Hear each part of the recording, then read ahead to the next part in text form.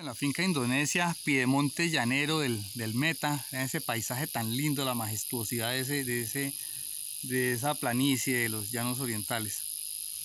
Pero quiero mostrarles algo con respecto a la sombra. Vean el, el, la fitoarquitectura que tiene este árbol, un tronco, las ramas son muy altas y van dirigidas hacia arriba, a hoja compuesta, deja pasar relativamente buen sol, y cómo está la sombra, cómo se proyecta la sombra. Bueno, entonces, si el, el sol sale de ese lado allá en el oriente, ¿sí?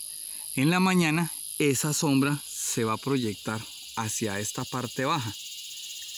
Al mediodía, que es la hora que estamos ahorita, una de la tarde, casi dos, la sombra ya empieza a moverse un poquito para este lado y a las 4 o 5 de la tarde pues esta sombra que está aquí este manchón de sombra se va a desplazar mucho más allá ¿sí? vean lo que pasa con este, este otro árbol que tiene la copa muy bajita ¿sí? la sombra tiene muy poco desplazamiento porque las ramas están, están muy abajo vean lo que ocurre con aquel otro árbol ¿sí?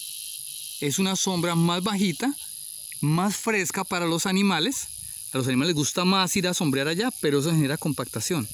Y no crece, no crece pasto en eso, en esa zona.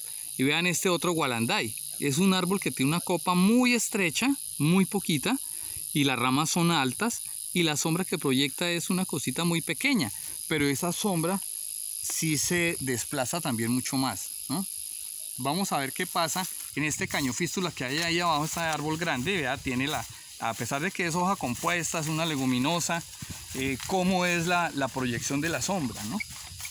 Porque es que vea las ramas tan bajitas que tiene. En este punto no alcanzan a ser dos metros sobre el, suelo. Y entonces, ¿qué hace? Esa sombra bajita les gusta al ganado y vea lo que ocurre. Hay aglomeración de animales, crean compactación y vamos a la pata del árbol a ver qué es lo que sucede. Vea, empieza a crecer lo que llamamos maleza. ¿sí? No hay pasto, se está acabando el pasto, se está compactando demasiado, se está degradando el suelo en esta zona. Entonces, ¿qué es lo que toca hacer? Dejar esta sombra alta.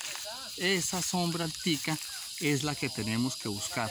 Ese tipo de árbol, ese tipo de árbol de sombra muy alta, de ramas muy altas con un tronco muy limpio. Ese es lo que tenemos que buscar, ese tipo de árboles.